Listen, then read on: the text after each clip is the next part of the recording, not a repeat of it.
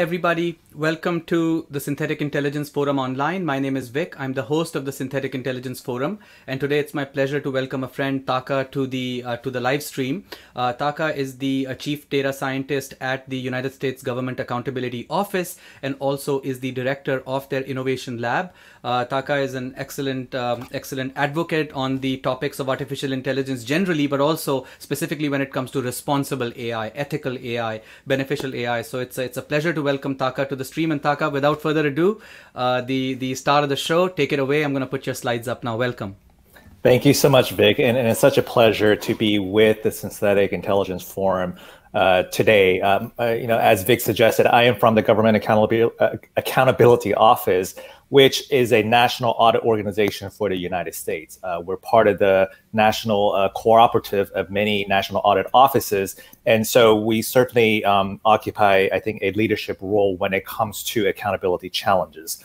And so, for those who may not necessarily be familiar with GAO's work, certainly we have a, a, sort of wide variety of assessment um, uh, reports across, you know, a complex set of uh, topic impacting the federal government. But what may not necessarily be known is that we are unique in the level of return on investments that we're able to measure. So over the past five years, on average, GAO has been able to return $165 worth of financial benefits for every dollar invested in GAO.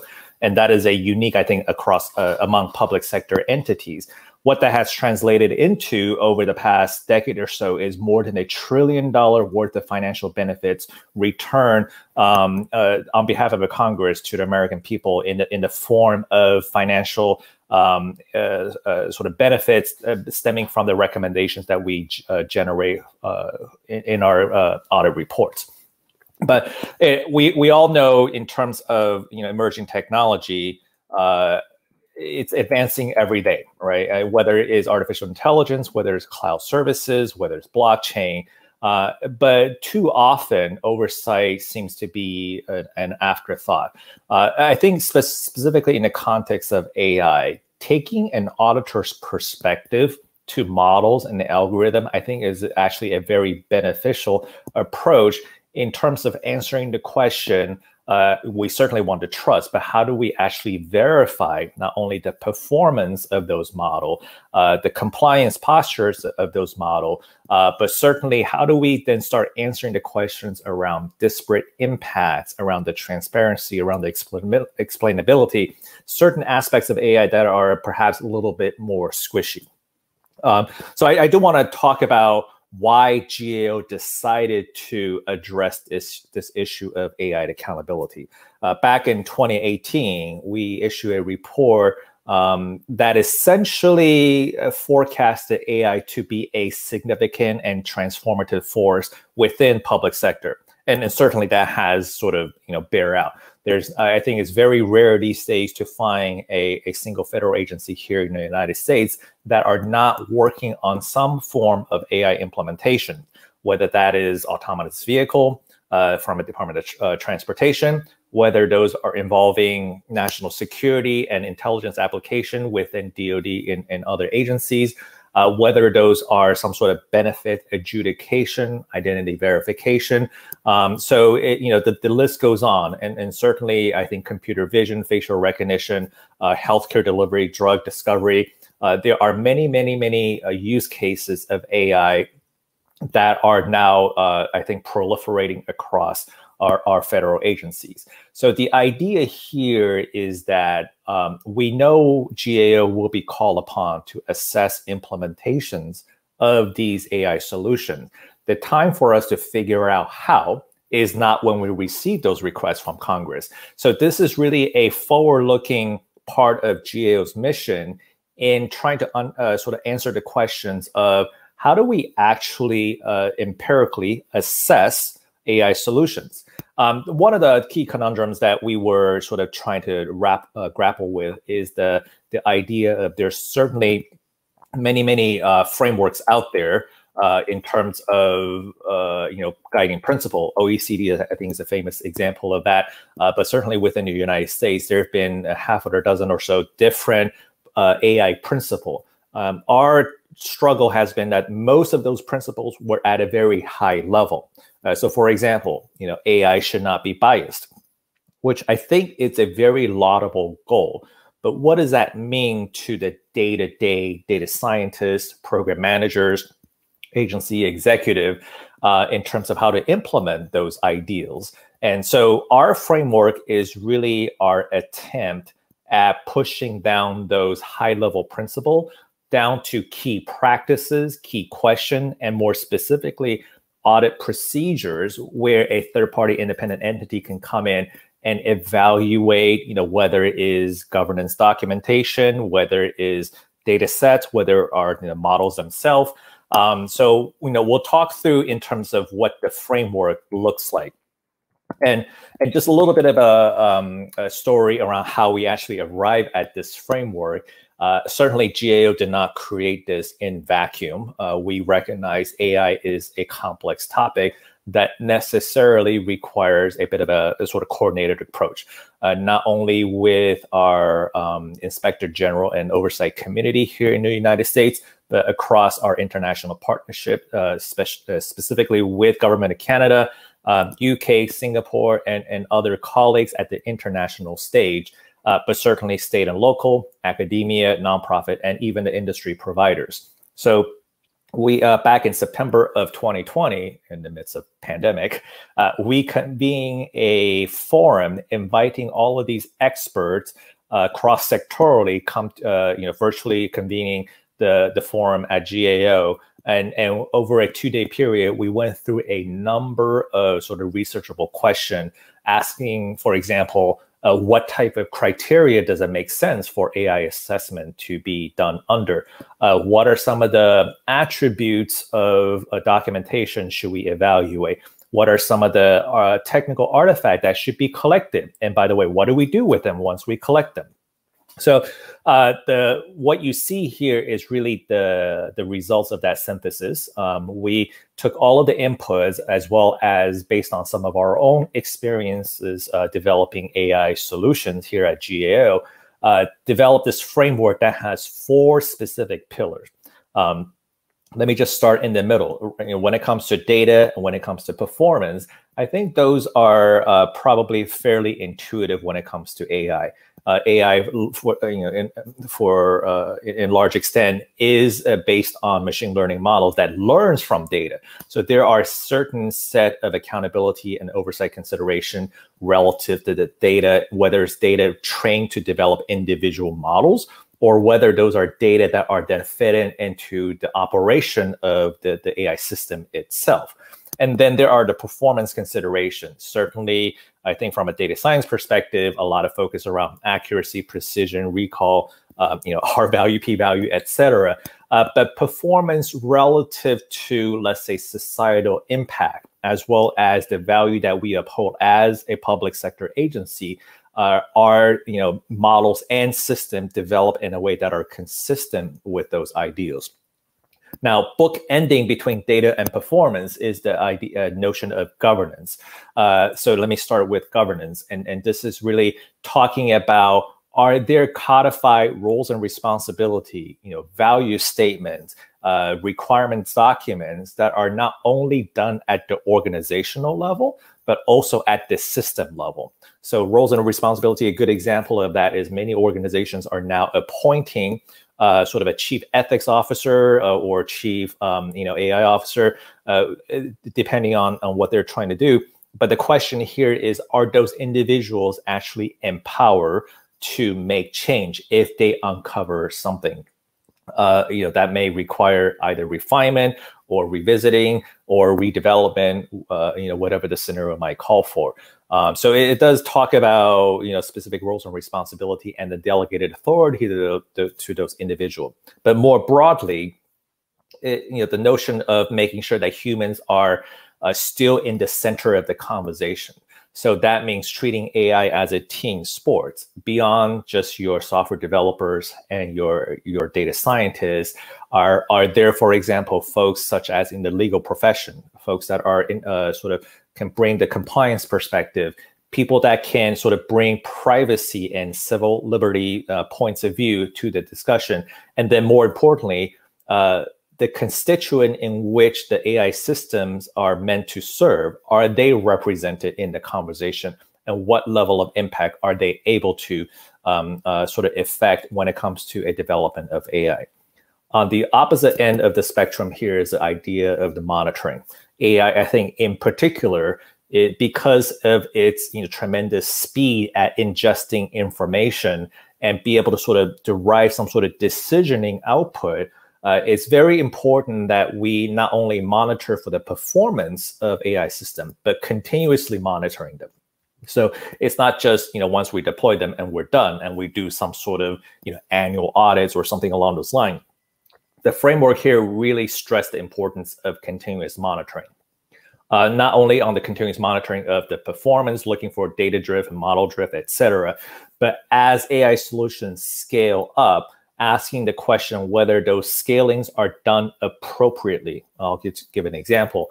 Uh, if an AI solution developed using one segment of the population or one geographic location, um, that may not necessarily scale well, uh, even across infrastructure, uh, across regions. And then we do want to pose the question of might there be instances where AI it's appropriate uh, to talk about in, in terms of sunsetting? you know, has AI exceeded its mandate or satisfied its uh, original objective where, um, you know, perhaps another form of technology has come online. So how does that sunsetting uh, retirement process uh, part of the conversation?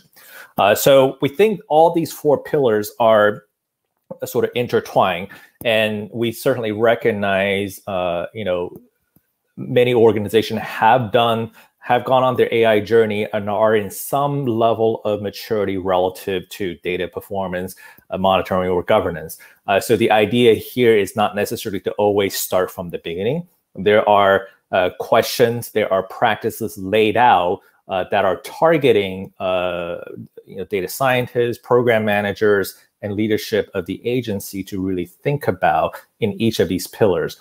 And for um, oversight communities such as GAO, we also laid out um, audit procedures that should be applied. And, and the important part here is the criteria in which we are subjecting ourselves to. It's based on and grounded uh, in uh, what GAO has always done, which is the generally accepted government auditing standards. We affectionately call Yellow Book because GAGAS, um, you know, it's a mouthful and, and difficult to pronounce. So under the Yellow Book principle, it says government programs uh, whether it's AI or not, right, must be effective, efficient, economical, equitable, and ethical. And I think those are five guiding principles that can be adapted in terms of how we assess AI across all these four pillars. And certainly, we also looked at our green book, which much uh, talks much more to the internal control functions um, of any program. So many of these um, sort of practices and questions and audit procedure are sort of grounded not only from inputs coming from the expert panel, uh, but certainly grounded in uh, the yellow book and the green book, which are sort of our guiding north star as far as uh, the gold standard of a, a um, government auditing standards is concerned. So let me move forward uh, to talk about uh, where does this accountability sit in the sort of a macro view. Um, you know, this is this accountability framework is really meant as a down payment for GAO um, for us to really start advocating oversight as a key component of AI development. Um, we certainly recognize there are different flavors of AI. There are different use cases for AI. There are different sort of calibration of consideration for AI. So, for example, um, autonomous driven uh, uh, autonomous vehicles, uh, explainability for that particular use case will look very different. Let's say a cancer diagnosis algorithm, or even a benefits adjudication algorithm, or some sort of uh, other uh, computer vision type of implementations. So, this uh, accountability framework actually uh, looks to address the common life cycles of AI. You know, whether that's the initial design of that solution, whether that's the sort of iteration involved in the development, which often you know is two step forward, one step backwards, kind of, um, uh, sort of uh, back and forth iteration uh, when it comes to identifying the right data variables around uh, around the right models, around the right parameter tunings, etc. Um, so, and then take that developed uh, product and prototype into more of a deployment conversation where now scalability, security, infrastructure, resiliency becomes part of the conversation. And then again, how does continuous monitoring manifest itself once that solution is, is deployed?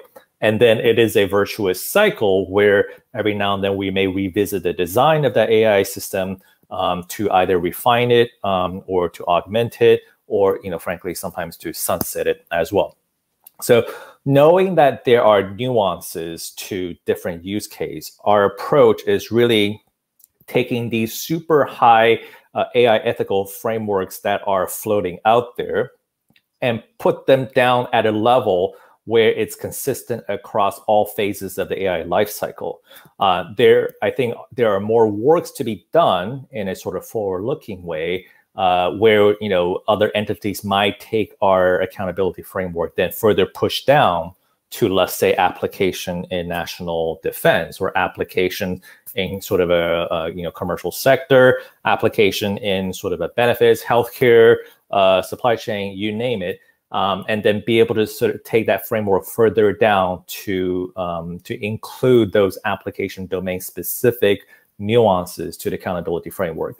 So this is really again, you know, just to reemphasize, is GAO's down payment, and we certainly expect um, us to continue uh, tackling you know AI oversight work, uh, but collaborating with other partners, international, state, local, and oversight community to continue to evolve this accountability framework as the AI technology itself is evolving.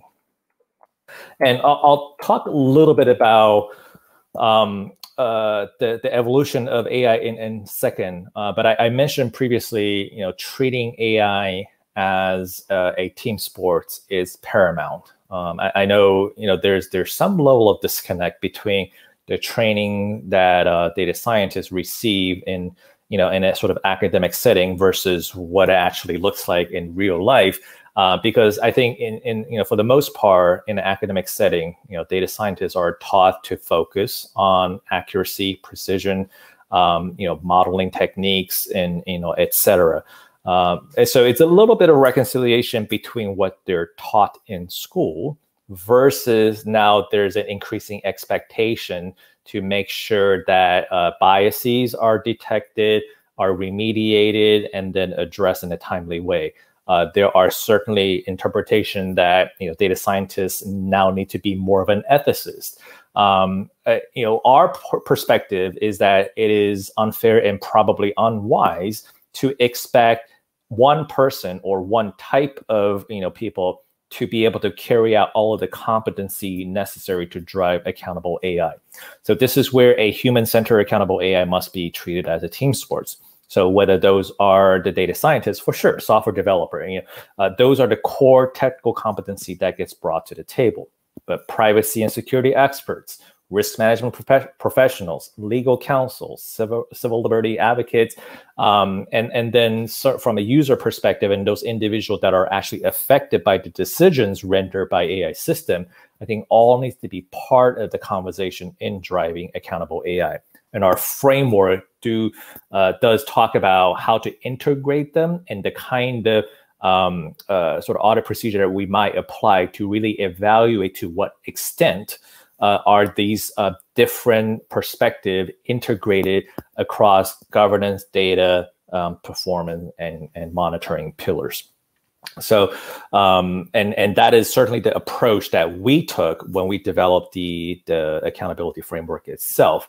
Is that you know all of these uh, competencies were represented in addition to the organ you know, diversity of the organization. Like I mentioned, it involved international partner, state and local partner, oversight community, federal agencies, industry partners, um, and then you know we're quite conscious in making sure that there is a social um, element to the diversity as well. And, you know, 61% of the panelists were women, 40% of the panelists were, you know, underrepresented minorities. So we want to make sure that when we're having an accountable a conversation on accountable AI, those accountability framework itself is derived through diversity of perspectives.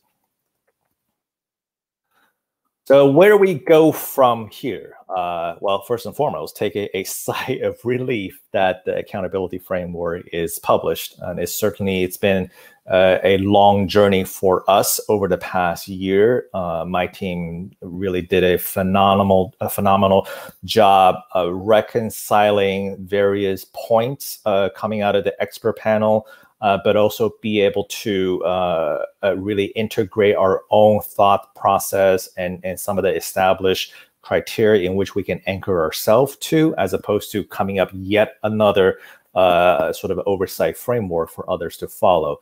Um, and you know, there's a certainly fair amount of integration and coordination with agencies such as National Institutes of Standards and Technology, uh, White House, and and other agency that sort of cast uh, you know large uh, significant gravity in the on the conversations of AI. Um, but our goal is to really start working with the oversight community to think about how this framework can be applied in their assessments of AI implementation. Um, but certainly, we we are looking towards uh, you know implementers, data scientists, service provider, product providers out there um, to really you know put forth a framework. Say these are the kind of um, questions and practices that we expect federal governments to adhere to. And so, for those uh, entities that are working with federal government in implementing AI solutions, um, these are the questions that are not just specifically asking federal government, right? I mean, especially when a lot of AIs are procured or bought. Um, so those uh, there's a tangential touch point between federal agency as well as a service and product provider. So uh, we intend to continue to engage in conversation, but certainly uh, from forums such as this, we are very much interested in your feedback uh, what do we get right in this framework? What do we not get right in this framework? And you know, we certainly don't intend this uh, accountability framework to be an end-all be-all. Like I said, this is uh, our attempt at version 1.0. There will likely be a version 2.0 of the framework and a version 3.0 of the framework uh, going forward as well. And so I, I have this uh, little graphic, and, and maybe hard to read, that uh, really talks to where we are on the journey for AI itself. And I think, frankly, we are in the early stage of that AI journey. And, and this is graphic, something that I love. And I, we stole from DARPA, the Defense um, Advanced uh, Research Organization. Um, and and I'll, I'll, just set the context on why we adopted this characterization of AI. Uh, one of the things that we didn't want to um, get stuck on is some sort of definitional battle on what is AI. And I think a lot of um, sort of principles out there uh, try to define AI, and it certainly is a question that if you ask 10 data scientists, you'll get 50 different answers. Uh, and you know, so what we, for the purpose of the the facilitating the expert panel, um, we were very clear to the panelists that one, the goal of this uh, you know forum was really never to have a definitional um, you know battle around whose definition of AI was right. Uh, and we're also not here to admire the problem, right? I mean, there were a lot of conversations around, oh, AI should not be biased. Well, we we take those um, challenges on its face value. We're much more interested in well, how do we go from here? Um, so this is where the DARPA's representation, I think, came in handy rather than relying on a consensus definition, which, by the way, one exists. Um, the federal government here, here in the United States has codified uh, the definition of AI in the fiscal year 2021 National Defense Authorization Act.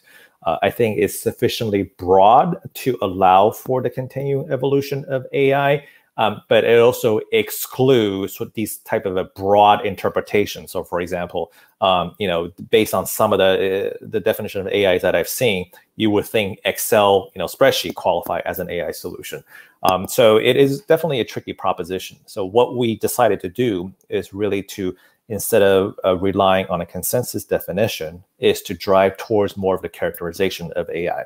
And where we are relative to that characterization is certainly in what you know, DARPA calls second wave of AI. So first wave of AI, very much expert driven, rules based, uh, very, uh, you know, akin to, you know, for example, TurboTax, right? You answer, uh, you, you ask a bunch of questions and based on the logic of the programming, it gives you a set of answers.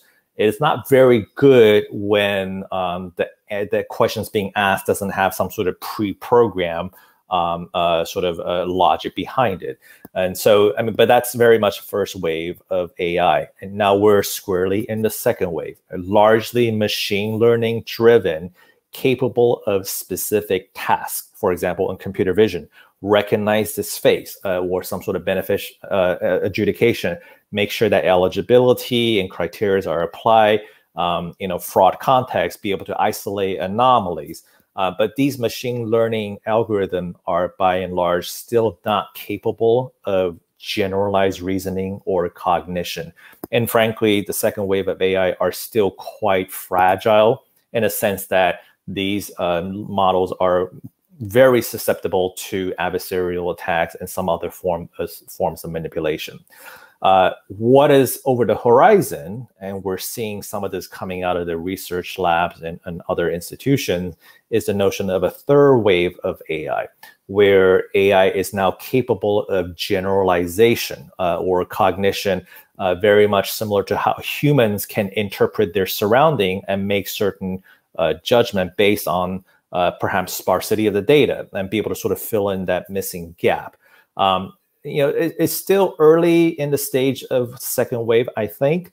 Um, but it is so important for us to get the accountability right right now uh, before we have to deal with the increased complexity um, and then risks associated with the future third wave of AI. Um, so this is, you know, this I hopefully this answers the question of why GAO and why now. Um, certainly, that's something that we initially, when we started this engagement, had to answer internally to uh, our agency leadership as well to say, um, you know, usually an, a, sort of oversight institution would normally wait for some maturity of um, technology, right? Whether uh, you know it could be AI or it could be something else before we embark on this sort of oversight construct. Um, but this is where GAO philosophically want to be uh, much more forward looking because it's not just AI, uh, it also involves cloud services. There are a range of other emerging technologies that do require this type of perspective view. So, blockchain, right? Uh, 5G, quantum computing, etc. Uh, so, AI accountability framework is something that um, you know, it's it's one of many uh, emerging technology issues we're tackling prospectively. And you know, as this sort of graphic lays out, we're still early in the conversations of AI.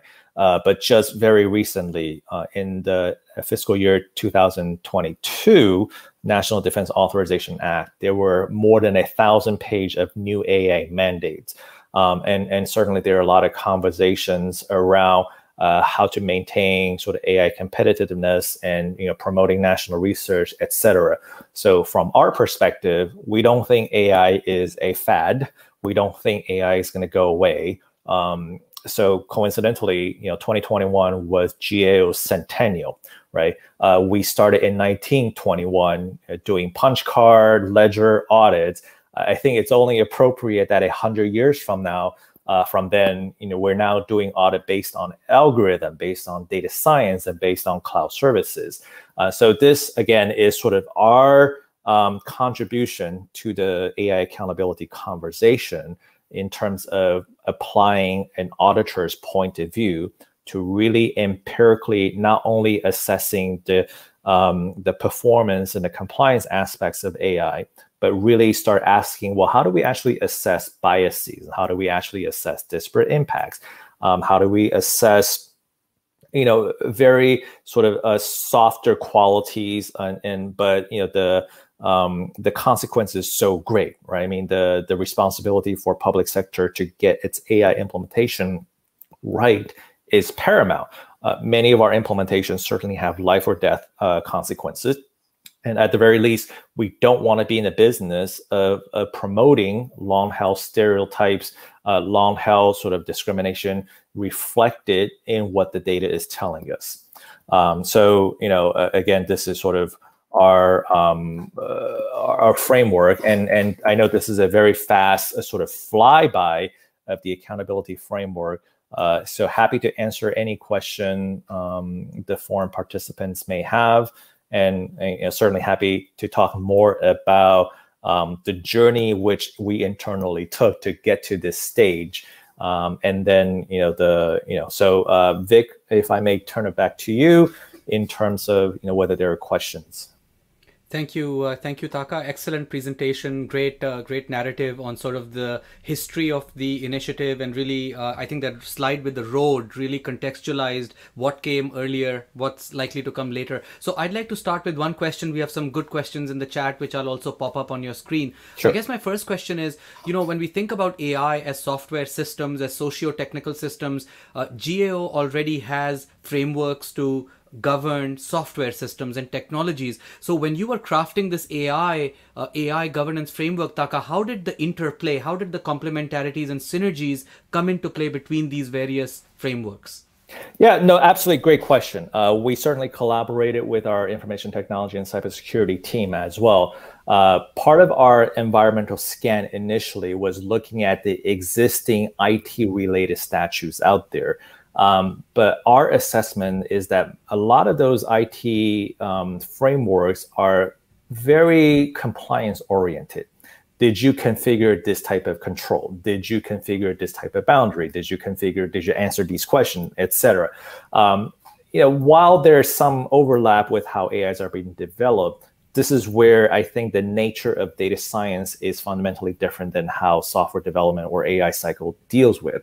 Um, I mentioned a little bit of uh, the development cycle. Oftentimes is two step you know forward, one step backwards, whereas software development tends to be very uh, progressively forward in terms of how you design the sprints, how do you design milestone, how do you design um, those uh, sort of deployment, you know, apertures.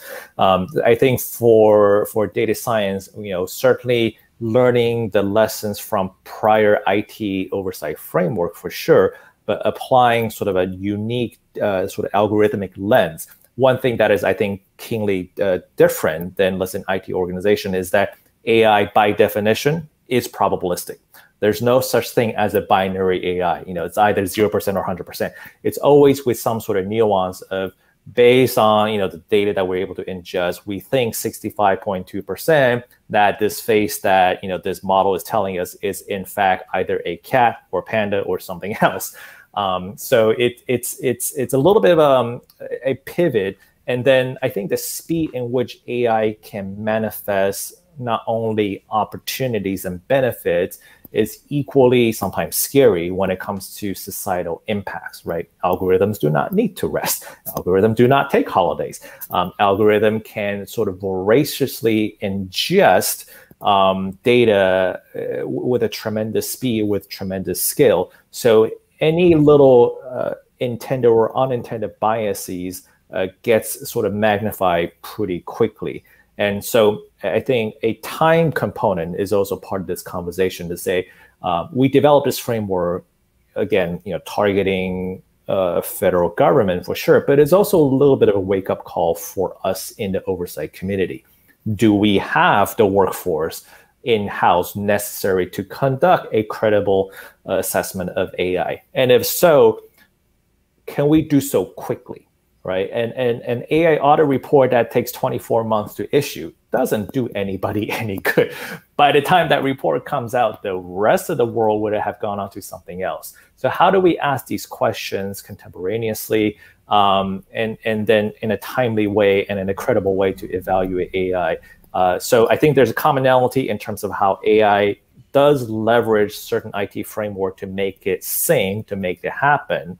Uh, but I think AI itself has a specific set of nuanced uh, accountability challenges that compelled us to really develop this framework.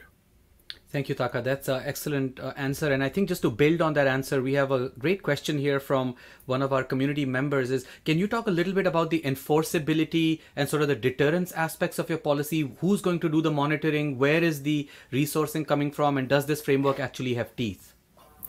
Uh, yeah, so I, I, think that that's a great question. So a common misconception is that GAO is not a regulatory agency. You know, we don't have a badge wielding, gun carrying officers that breaks down door that says your AI is not compliant. Um, but what we do as an oversight function is that we generate these assessment reports and we produce recommendations. Those recommendations are usually sent, well, not usually all the time they're always sent to Congress. So there's a level of visibility and they're publicly available um, uh, at gao.gov. So there is an element of, um, while GAO doesn't have a regulatory function, but because of our nonpartisan stance, because of our reputation as an objective, sort of high quality uh, oversight entity, what we say matter. And usually, more often than not, um, agency themselves uh, find it in their own interest to address it before they get hauled in front of the Congress to ask very difficult questions. Um, but certainly, as part of the recommendation, we want to make sure that uh, it's not just GAO's edict that to issue these recommendations. We usually work with the agency to understand um, constraints, to understand the facts and circumstances in which perhaps some of these deficiencies are built in. And so our recommendations are tend to be you know nuanced in that way. So it's not really meant as a bludgeoning tool. Um, and then the the point I'll just add is because agencies usually do adopt GAO's recommendation. Now, sometimes it may take a little longer than we like, but you know they you generally adopt. And this is one of the reasons why we're able to measure the financial impacts of our work. Uh, the point of this accountability framework could also be viewed as a bit of an open book test right? GAO is evaluator. We're telling you the kind of questions and the procedures that we will be applying. So uh, before GAO starts the evaluation, the programs um, uh, and you know uh, and, and, sort of implementers should really look at the kind of questions that we're asking and perhaps uh, build that into their current uh, sort of journey of implementation because sooner or later, either GAO or our inspector generals or other sort of uh, independent audit agency will be asking these questions. Thank you, Taka. Great, uh, great answer. And uh, also related to that, I think we have another excellent question here, which is that, you know, Taka, when we think about AI systems as socio-technical systems, there's the technology part, the software, and then there's the human in the real world making uh, things happen. Uh, how is your how does your framework handle this multi-level nature of AI systems uh, when you're looking at the overall and when you're also looking at the specific? Yeah, great question. Uh, a, a, bit of a sort of an anecdote I'll share. When I first showed up to GAO, you know, one of my brilliant idea was to develop like a natural language processing capability to help our lawyers, and we have a lot of lawyers here at GAO, uh, to really triage many of the uh, the contract bid protests that GAO actually handles, and, and that's, that's sort of I think a little known function of GAO as well. Um, and so the, the, the lessons learned on first day when I showed up at GAO is that context matters. From the lawyer's perspective, they interpreted my idea as a replacement of their job. We, we're now going to come up with an AI lawyers to adjudicate these complicated cases, where in fact my intent was to really uh, to support the decision making process by driving efficiencies, but not necessarily supplanting those professional judgments.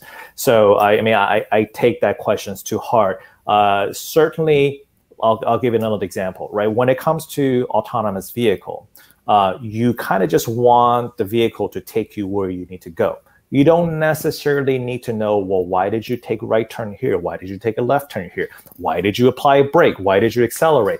Um, that will actually be a hindrance to a, a sort of autonomous vehicle um, driving experience. But in that context, this is why the evaluation matters so much, right? Because a lot of uh, human decisions are then delegated to machine to execute. We need to make sure that sure, the camera can actually recognize a rock on the street or a cat on the street or a stop sign on the street. And it's sort of such a high precision um, because you know, rightly or wrongly, apparently the society places a lot more, uh, a lot higher bar when it comes to self-driving car, where we know there are tens and thousands of human-driven car fatalities out there. Um, but that's a you know different conversation another day. Uh, but knowing that those decisions are being delegated to the system itself, I think this is where the evaluation and the bar for that evaluation needs to be set very high.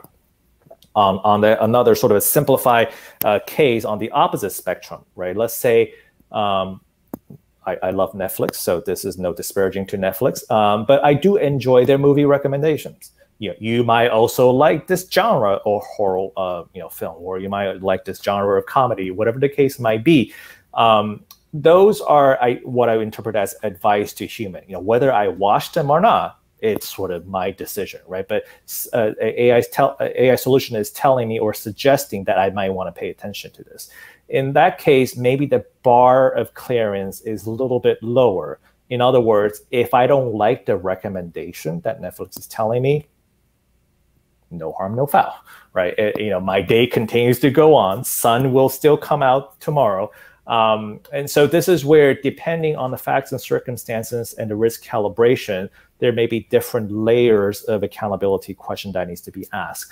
Uh, so our framework doesn't get into the uh, sort of all of the specific prescriptive, you know, uh, delineation of risk, but rather what we say in the governance specifically section is, you know, evaluate what is your your AI system intended to address and then, as part of that conversation, what is the deliberate risk identification and risk management process? So, if there is a life or death consequences, yeah, set the bar super high. And then all of the data performance and continuous monitoring will be based on that identified set of risk to address that high bar of clearance. If, for example, you are developing something like a product recommendation where if you're wrong, you know, not necessarily, you know, the end of the world uh, that it's again is a risk calibrated conversation so that we're not trying to take a one size fits all to uh, AI accountability. As a matter of fact, we know that will never work.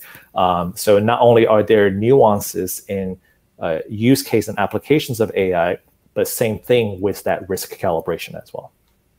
Thank you, Taka. And uh, building on the comment you made about sort of the perception sometimes that AI will replace jobs, I know that when it comes to employment policy, Taka, sometimes there is this conversation of sort of an AI stream or sort of a, a, a tranche of, of people that had a skills development plan just for AI. Can you comment a little bit on that, Taka, what your reactions are to this kind of line of reasoning? Yeah, um, you know, going back to my comment that you know I, I firmly believe AI is a team sport. Um, I think AI have a tendency to be lumped into this sort of monolithic term, right? Do more AI or hire more AI or buy more AI. Uh, but in reality, what we mean is, you know, get more data engineering competency, get more data scientists, get more mathematician, get more infrastructure cloud services expert to work together um, to establish a sort of a quality AI system but somehow AI just, you know, it's a convenient shorthand to say do more AI. Um, I think workforce is definitely a challenge, especially for, you know, here in the United States.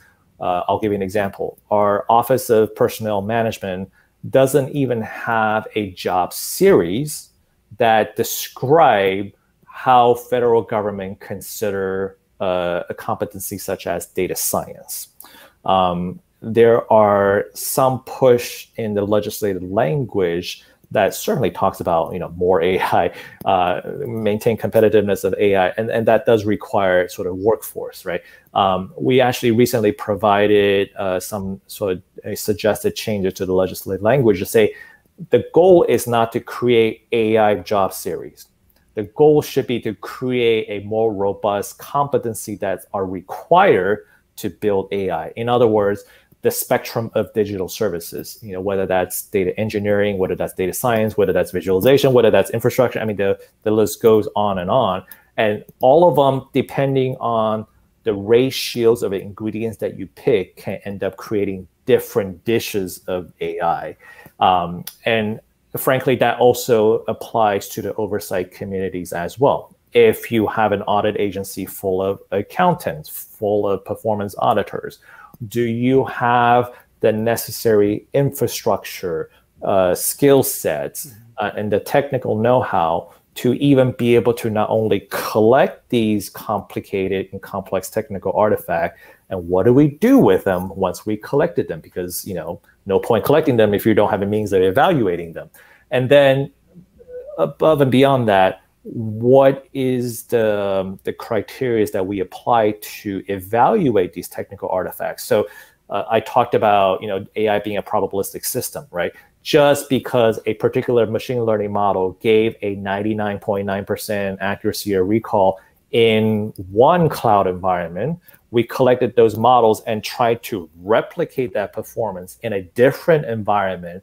Is the goal really trying to replicate it, or is there some reasonable standard that we can apply uh, to assess the performance, the, the data elements, um, the rationale behind selection as the variable, etc. Um, so I think workforce is paramount. And so talking about accountable AI, I think, again, laudable goal. Um, but the, the, where the rubber meets the road is do you have the, the, the sort of multidisciplinary sort of team sports mentality, not only to the implementation of AI, but also the oversight of AI?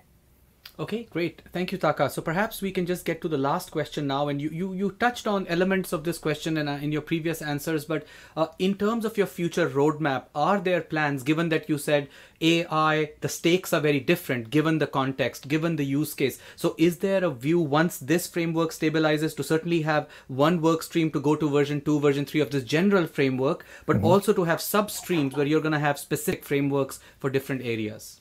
Short answer is yes, um, but we certainly don't expect GAO to be the only voice in that conversation, right? Um, and even prior to issuance of this accountability framework, we have done technology assessment relative to applications of AI in healthcare, in diagnosis, in drug discovery. You know, that's all the rage these days. How do you how do you model different proteins so that you're not spending years and years over time and developing vaccine? And I think the COVID vaccine is a good example of having leveraged some of that AI capabilities.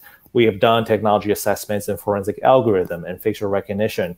Uh, so I think that portfolio of oversight work will continue to evolve.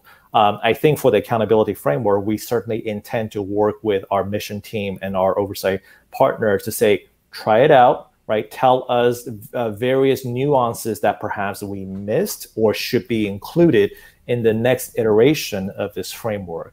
Uh, we have had conversation with several academic institutions to say, might there be a collaborative opportunity uh, while GAO sort of looks at this general framework but individual organization might tackle to say how do we take that framework build it in for let's say computer vision or some other specific forms of, of ai implementation. Um, this is where i think open source is a absolutely a beautiful construct right? You can sort of imagine perhaps like some sort of github repository of AI frameworks specifically adapted to computer vision or AI frameworks specifically adapted to self-driving car or AI frameworks specifically adapted to some sort of biomolecular application uh, for drug discovery.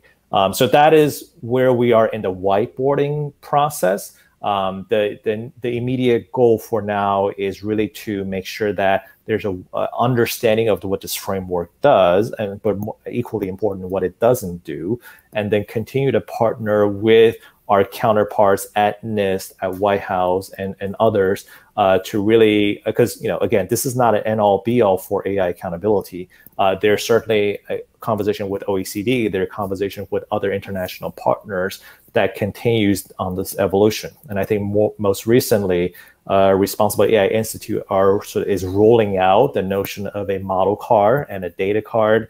Um, and certainly that is one example of documentation I think is consistent with our governance pillar within our accountability framework. Um, so part of our goal is making sure that we're not just you know, mandating or suggest a part of accountability AI out way out in the left field that is not consistent with the rest of the conversation. Um, the, the one last piece I'll just sort of touch on, and this was a bit of a surprise, right? We, we talk about accountable AI as though that is a generally accepted construct. Right. Um, but in one of the very last session of our expert panel, what you know, one of the comments raised was, you know, data scientists' job is to focus on the performance aspects of AI. So again, they're taught to focus on accuracy, precision, etc. Um, is it really fair or is it really appropriate um, when the data scientists are are called to represent the data to their best of ability based on what the data tells them? Or is it fair to expect them to uh, mold that data to reflect the world in which we wish we lived in? Uh, very valid conversation. So I think when we talk about accountable AI, it's important to recognize this may not necessarily be a universally adopted construct, so that we shouldn't all be in a sort of echo chamber of talking about, yeah, you know, AI ethics is great. Uh, there are certainly uh, conversations around training. There are certainly, uh, you know, additional work that to be done before accountable AI is sort of a, a um, almost like like air we breathe and water we drink. It's just part of the standard practice uh, because you certainly don't talk about uh, you, you, don't hear a whole lot of ethical principle being developed into cloud services, for example, or quantum computing or any other uh, prior forms of technology. And but this is certainly a topic that you know focus on the AI implementation itself. So recognizing that you know while it's such an important topic, uh, there are more uh, consensus to be developed in, in this area. Very interesting. Thank you, Taka. And I think that uh, that brings us to a very nice uh, place to talk about, uh, to close, and to just say that, as you mentioned, you know, there is the assessment side to this where there are metrics, but then there are also interventional techniques like uh, rejection option based classification and optimized pre processing and reweighting and things like that. So, excellent, uh, sort of perhaps a topic for the next talk, Taka, as you mentioned, that there's another set of conversations we can have about autonomous vehicles and the ethics of autonomous vehicles. Who do you hit? Who do you not hit? So, uh, thank you so much on behalf of the Synthetic Intelligence Forum for a thoughtful and thought provoking, uh, rich and rewarding exchange of ideas. And we'd love to have you back, Taka, in a couple of months to see um, where the journey has taken this framework. Thank you. Absolutely. Thank you for the invitation. Yes. Bye for now.